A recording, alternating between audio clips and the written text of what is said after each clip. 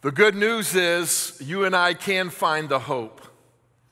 And we can find the hope in the person of Jesus Christ. You see, He made a promise to you and I that He would die and then He would come back to life. You and I know it as Easter. We just celebrated it a week ago. Now, you may wonder why we celebrate every week.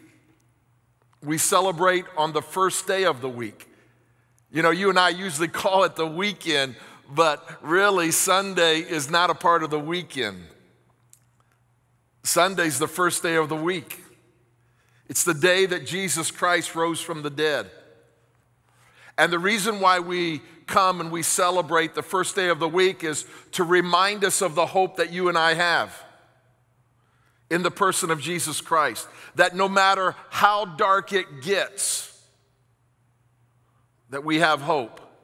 You see, it reminds you and I that we matter to God and that everything around us might not be okay, but you and I are going to be okay. See, you might feel alone, you might be alone. Maybe you had to cancel a wedding, or maybe you had to cancel a, a, a doctor's appointment, or maybe you had to cancel something very, very important to you a vacation trip. Regardless of what you've gone through, regardless of what you're going through, here's what I want you to know Jesus wants to intersect with your life. He wants to bring hope to you and me. And so, though things around us has changed, he would say to you and me, Dwight, you don't have to be overwhelmed with fear and despair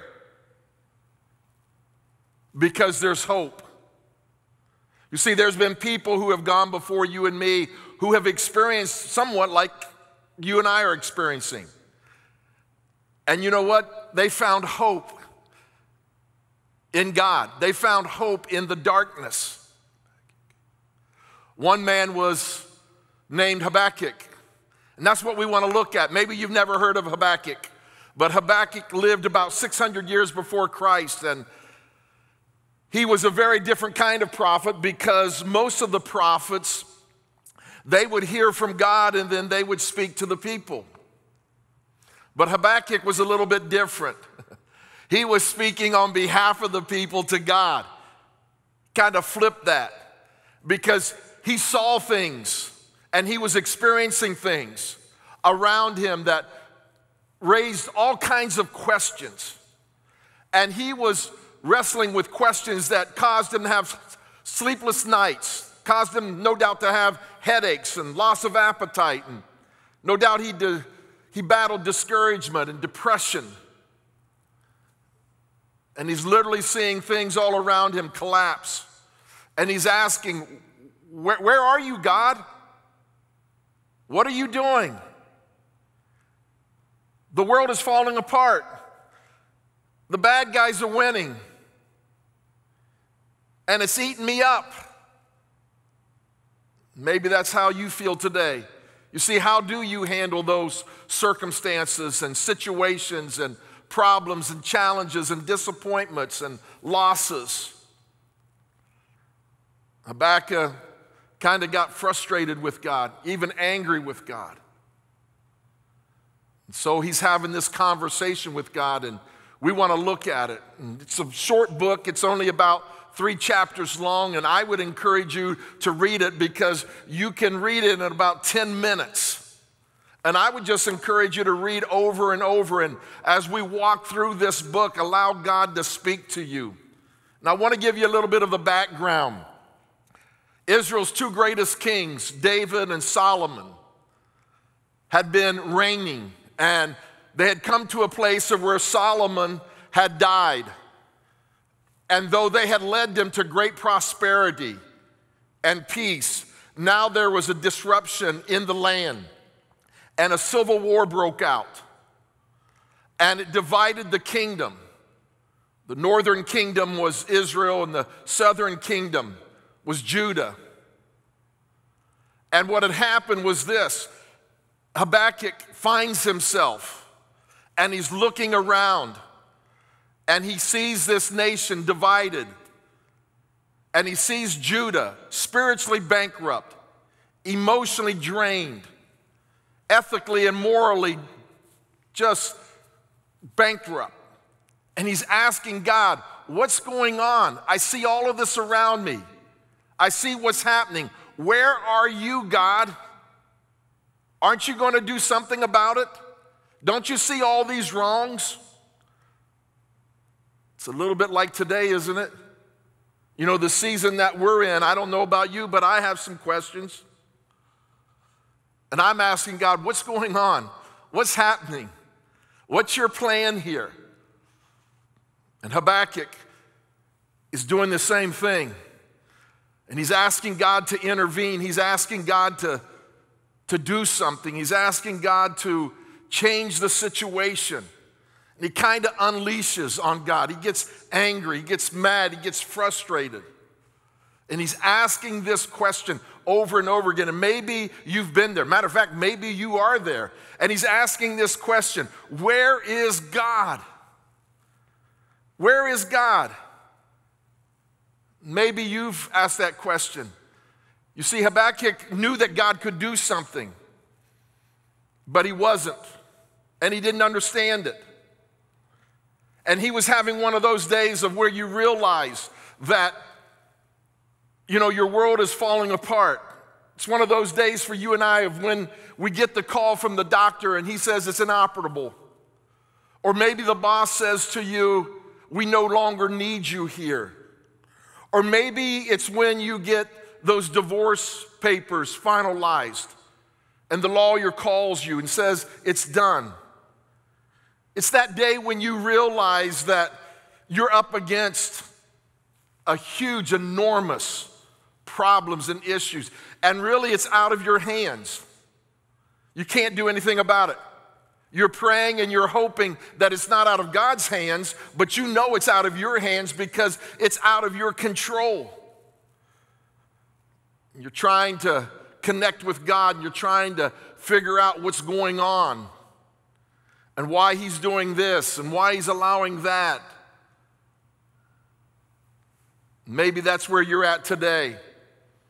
And Habakkuk is writing his thoughts, his journals down in his letter and he's just lamentating, he's just crying out and sharing. But here's the good news Habakkuk is not at the end, he's in the middle. And that's really where we're at in this season. We're not at the end. You know, the last chapter has not been written, has it? No. And so we're in the middle. Even though maybe you feel a little bit anxious and you have that tinge of feeling overwhelmed, like Habakkuk, and you're in the middle and you're saying, What's going to happen? What's going to transpire? Am I going to make it through? And maybe you feel a little bit paralyzed. Habakkuk did. See, that's the great thing about the scripture.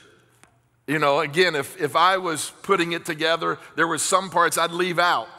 But God doesn't because He wants us to know and realize that He's faithful and that no matter what happens in your life, no matter what happens in my life, that we always have hope. And Habakkuk learned that. And so I, I want us just to walk through some scripture and I'm going to make some comments and I believe this is going to be very, very helpful because it's going to remind you and I that no matter how dark it gets, we always have hope because of Jesus Christ. So Habakkuk starts like this He says, This is the message that the prophet Habakkuk received in a vision. You see, he received this vision, and really it was a burden. He received a burden, and he was concerned and he was taking it to bed with him and he had those sleepless nights and he was wrestling with the question God, where are you? What's happening? Everything around me is falling apart. It's not going according to plan. I know who you are. And I thought I understood you. But maybe I don't. And so he's wrestling with this question and it's tearing him apart. And he's journaling down his thoughts And he's in the middle of this. And he's experiencing anxiety and worry and fret. Why? Because he's a human being. Now, what you need to understand is he's a prophet, so he's a believer, and yet he's having these emotional situations that's just tearing him apart. No doubt it was a little bit like the Holocaust. I remember reading some about the Holocaust, and because of what was going on, people got so angry with God that they said, He must be dead. Or maybe He doesn't even exist. Because if there was a God, He wouldn't allow this massacre to happen. He surely would have prevented this. And Habakkuk is raising similar questions. If there is a God, which he knew there was, he was just frustrated. He was angry. Why are you letting this happen? And so Habakkuk is burdened with this vision, and he's asking life's most difficult questions. And you know what he does? He does something that maybe you need to do. And you might say, Is it okay really to do this? It is. God's big enough. And maybe what you need to do, maybe what most of us need to do, is we need to confront God honestly. Have you ever done that? You see, you can because of Jesus. You and I have a relationship with God, and we're told that we can boldly go before Him and we can confront Him honestly. And that's what Habakkuk was doing because he was frustrated. He was overwhelmed. He was a little bit anxious. He was even emotional. Look what he says. He says, How long, O Lord, must I call for help? You ever experienced that? God, how many times do I have to bring your attention to this situation? And Habakkuk is basically saying, I've been asking and I'm frustrated, and I'm bringing it to you again. And I've been waiting a long time. When are you going to do something? When are you going to get engaged? When are you going to show up? Because it seems like you're inactive. It seems like you don't care. Anybody feeling that today? You know, maybe you would say it in this way you know, God, I, have put out application after application for a job and I haven't heard anything. God, I've had one miscarriage after another miscarriage. God, I, I've been sick and I've prayed and I've been anointed. God, when am I going to find a doctor who can help me? God, you know the finances that, that we're dealing with, you know the situation. Man, we're living from paycheck to paycheck. When's that going to change? God, you know the relationship that I have with my son or my dad, and it's not good. Or maybe you're single and you're saying, God, when am I going to meet somebody? I've been praying to you and asking time and time again. And Habakkuk says this He says, How long, O Lord, must I call for help? But you don't listen. See, Habakkuk is a man of prayer. He has a relationship with God. He's calling out to God. And yet God seems to be absent. He says, I'm asking and asking and asking, but I'm not hearing anything from you. I'm bringing it to you again and again and again. But I have no response. I keep talking to you about it. You see, Habakkuk had a God sized problem, and it's out of his hands. And yet it seems like God is aloof and indifferent. He goes on and he writes this He says, But you do not listen. Violence is everywhere. I cry, but you do not come to save. He's basically saying, God, I'm hurting. I'm confused. And you're not answering. Are you deaf? Don't you understand? And yet, there's something about him that he understands that God will speak in time. It's just not on his timetable and he's crying out, Why don't you do something? And he's asking God to intervene. He's asking God to deal with the evil and the wrong and the injustice that's all around him. And yet, I, I kind of sense that Habakkuk is feeling that God might be a little bit indifferent. You ever felt that? When are you going to get engaged? When are you going to do something?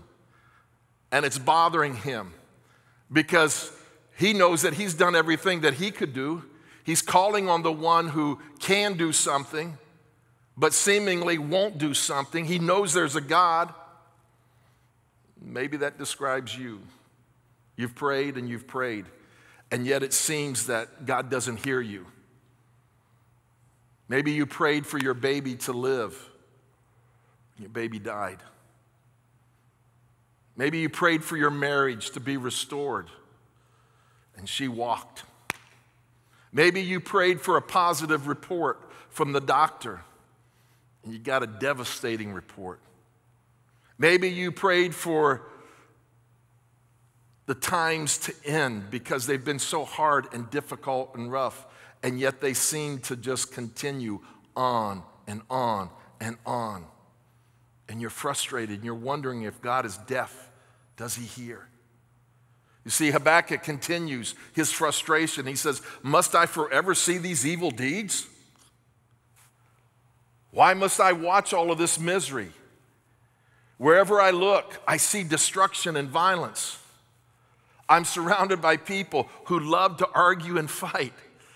You know, maybe that's you right now. Maybe you've been living in quarantine so much with your family that, you know what, everybody just wants to argue and fight. And you're saying, God, can you do something about this? can you help us? Can you bring a little peace to our home? He goes on and he says this He says, The law has been become paralyzed. It's ineffective. There is no justice in the courts. The wicked far outnumber the righteous, so that justice has become perverted. You know what he's saying? Here's what he's saying, maybe something that you have said before. And it's this right here. If God is good and God is in control, then why is the world so messed up? Have you ever been there? I have. You ever asked those questions? You see, Habakkuk gives us permission to ask those questions because God's not condemning him, God's welcoming the conversation. And Habakkuk is basically saying, God, it seems like you don't really care. You're not doing much when you could. And he's not only saying that, he's saying what you are doing doesn't seem fair. You see, it's okay Listen, it's okay to talk to God in a straightforward way. I know that we have a hard time doing it with one another, right? I mean, probably most of us have a hard time having crucial conversations, even with our spouse. And so we allow the frustration to build and the anger to build. And what happens is it, it, destroys the relationship. And God says, I don't want our relationship to be destroyed. You see, there's something about us sometimes that we're frustrated and we don't understand why this is happening and why God isn't doing that. And so, what we do is we fake the relationship, we hold it in, and we pretend that everything's okay when it's not. King David of Israel, he wrote many, many Psalms in this book of where he was asking the question, why? Jeremiah, another prophet, honestly confronted God and expressed his dismay and his frustration and his heart. And guess what? God's big enough to take it because God loves you. God cares about you. And whether you've been laid off or furloughed, or, or maybe you're just having an argument with your spouse over the phone charger, who has it, who lost it, or maybe what you're gonna watch on TV. Listen, God cares and He wants to hear from you. And He invites you and I to confront Him honestly and ask Him, Where are you? What's going on? Why is this happening? You see, maybe your biggest struggle is that you've got all this pinned up emotion. And when we have all this pinned up emotions, usually what happens is we take it out on the people around us. Do you know that abuse is on the rise? I mean, it's just skyrocketing. Why is that? Because we're angry, we're frustrated, we don't understand. When is this going to end? And God would say, I'd like for you to take your frustrations to me. Talk to me. Don't take it out on your spouse, don't take it out on your kids. Go ahead and say, Where are you, God? God says it's okay. It's okay. Now, you might not understand the answer that he gives you, all right? But he'll give you an answer. He'll give you an answer. And he will shoot square with you and me. And so maybe you're at a point in your life right now of you're wondering if God is deaf. God, are you deaf? Are you blind? Don't you see everything? See, Habakkuk's doctrine, his theology of God, is giving him trouble because he, know that, he knows that God cares. He knows that God loves. He knows that God is all powerful. He knows that God is all wise. And yet he can't somehow process in his mind what's happening because he's calling out to God and his belief and his theology is throwing him a curve because he knows that God sees the wrong and the evil all around him. He knows that God sees everything, he knows everything. And yet he's asking God, why aren't you doing something? You're righteous, you're a judge. And Habakkuk is asking these questions. All this is going on. So he confronts God honestly. And guess what? God answers him. And to Habakkuk's credit, you know what he does? He receives God's response humbly.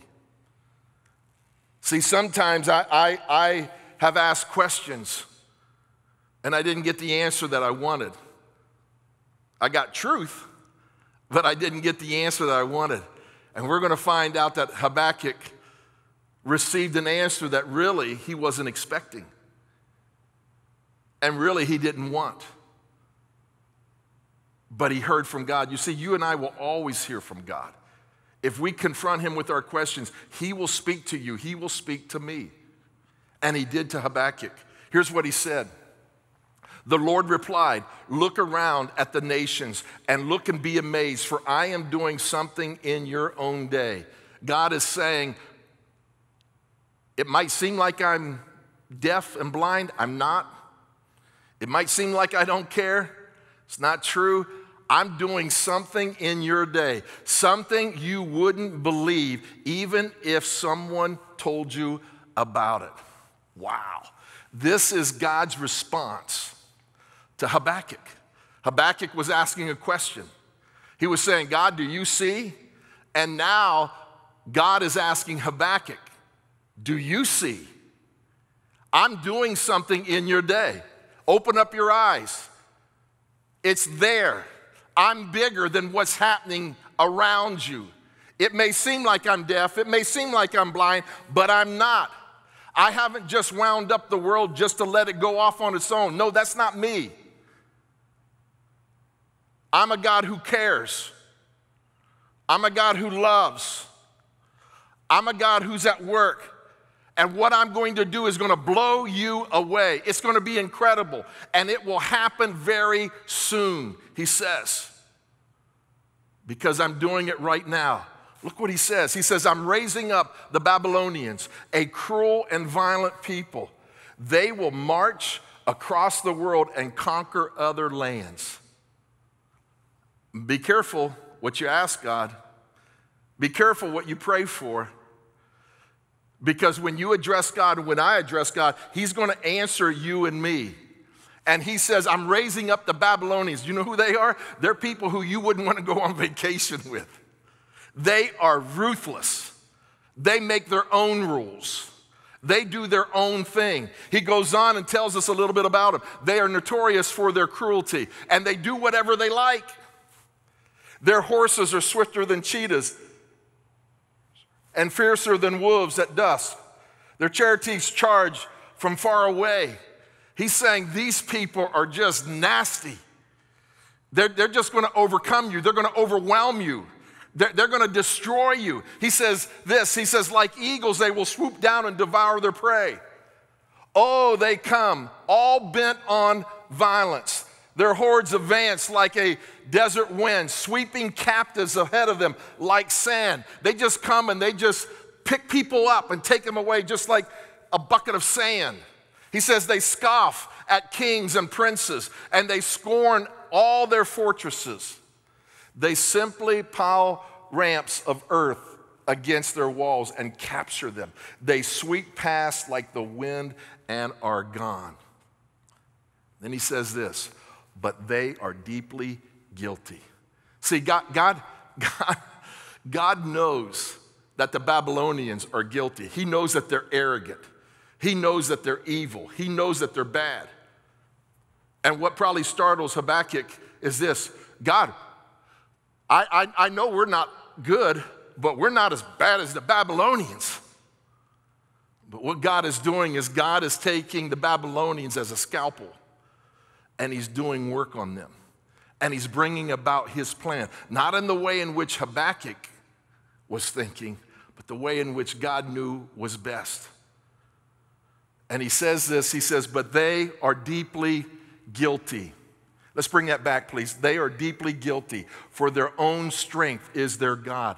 What arrogance. You see, their, their own strength, their own power, their own cruelty, their own evil becomes their God. And no doubt people in that day were saying, and we're to believe that there is a God in heaven, that he's wise and that he's good and that he's great and he's powerful. This doesn't make sense. It didn't to Habakkuk either. You see, when you hit a wall with God, and, and if you're a Christ follower, there'll come a time in your life of where you will hit a wall with God and your faith. You see, Habakkuk's name is to embrace. That's why he confronted God. That's, that's why he's writing this out because his name means to embrace. His name means to wrestle, to struggle. And what he's doing is he's struggling with God. He's saying, I don't understand all of this. And I want to know because I know that you're God. I know that you're good. I know that you're great, but I don't understand all that's going on around me. And see, what happens many times to us when we're in that struggle is this right here our faith diminishes as our circumstances deteriorate. And when things don't go according to our plan, just like in Habakkuk's day, our faith begins to deteriorate and diminish. You see, when bad things happen, we usually do one of three things. We check out, and what do I mean by check out? We just pull back. Okay, if that's who God is and He's not going to do anything, then I, am just going to pull away. I'm just going to draw away from Him. If He's aloof and indifferent, then I'm not going to pursue Him. And some of us are tempted to do that right now. God, it's not working the way that I want. I have this pressure. I feel overwhelmed. I'm full of anxiety, and you're not doing anything. And so the temptation is for you to check out. Or maybe not to check out, but maybe to back out. And that is you just walk away from God. Well, I tried church, I tried religion, I tried this thing called faith, and it didn't work. It doesn't work. And what I would say is both responses are futile and fatal. You'll be forever lost. So, what do I need to do? I need to talk it out. I need to be like Habakkuk. I need to embrace the struggle. I, I, I need to embrace the situation and, and confront God honestly and then receive God's response with humility. You see, Habakkuk is not saying that there's no hope. He doesn't say that there's not a problem either. Habakkuk lives in reality. He doesn't pretend with God. He doesn't pout with God. You know what he does? He pursues God. That's his name. He embraces. And so the whole theme of Habakkuk, when you read it, is found in Habakkuk chapter 2. And he says it like this He says, The righteous will live by faith in the midst of all your confusion, in the midst of, of all that which you don't understand. You know what he's saying? The righteous, those who know God, will live by faith. You see, what happens many times, though, is this is sometimes your experience doesn't add up to the version of faith you were raised with. And you were raised with a certain type of faith. And, and, and, it's a faith that, that you think, oh, if I have faith in God, then my life is going to be easy and everything's going to go according to my plan. And nothing bad will ever happen to me. Well, what I want you to know is that isn't faith. That's not faith. That's more like magic. And you have to understand that. And your view of faith is what you will filter things through. And so, what we need to understand is what faith is not. Faith is not a force or a power. It's not if you have enough faith, God will do whatever you want, no matter what He was planning on. And sometimes we're raised with that. If you just have enough faith, then you know what? You can change your whole situation, you can manipulate God. But faith isn't a power or a force, it's not a formula either. Faith is not a formula, it's not something that you and I have to figure out. That there's a code. And if you get the code right, if you get the formula right, then guess what? You can get whatever you want. That's not true either. And God will just start giving you everything. That's not true. What is faith? Faith is this right here. Faith is the confidence that God is who He says He is and that He will do what He has promised to do. That's what faith really is. You see, Habakkuk is a believer, and God is wanting to mature and deepen his relationship with him. And so, what happens is God has allowed this to happen in Habakkuk's life to draw him to God. And maybe you're in that situation right now. You're frustrated and you're having anxiety and you feel overwhelmed and you've brought it to God. And what he wants to do is he wants to give you his presence and his peace. And he wants to develop your faith. You see, listen, every great relationship, at the center of it is trust. And God wants you to trust him. Even when you can't see his hands, you'll trust his heart. See, I want to close with this what faith really is. You see, faith is aligning, aligning with God's way, not our way. Faith is not getting our way. Faith is not getting what we want. Faith is aligning with God's way. He's not your servant. He's not my servant. He's not my bellhop. He's not your bellhop. Faith is not getting what we want in spite of what God wants. It's just not that. And Habakkuk is saying, I want what God wants. He's aligning himself with what God wants. Faith is also this faith is seeking understanding from God, not being frustrated with God. It's saying, God, I don't understand what's happening. I don't understand what's going on. And I need to understand you because we know Isaiah tells us that his ways are not our ways and his thoughts are not our thoughts. And so faith is really saying, God, I want to have a conversation with you. I want to understand you. You see, God doesn't condemn Habakkuk, He doesn't. And so faith is, is seeking to understand. Faith is seeking to understand what God is wanting to do in your life and in my life. And then faith is also this faith is believing the best about God, not the worst. Have you ever experienced that? Have you ever had somebody tell you the worst about somebody and then you met them? And you're thinking, this isn't the same person. Or has somebody mentioned things about you that weren't true? And it hurt you. You see, faith is believing the best about God, not the worst, that He's good, that He's faithful, and that He's true.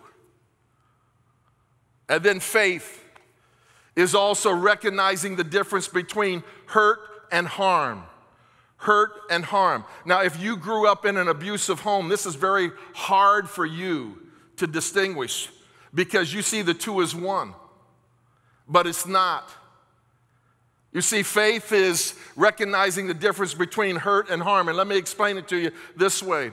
You know, if, you've had, if you ever had to go to a physical therapist, because maybe you had hip surgery, you had knee surgery, and they're pulling you out of bed and they're saying, We need you to get walking. We need you to get up. And you're saying, You're hurting me. You're hurting me. This is painful. Right.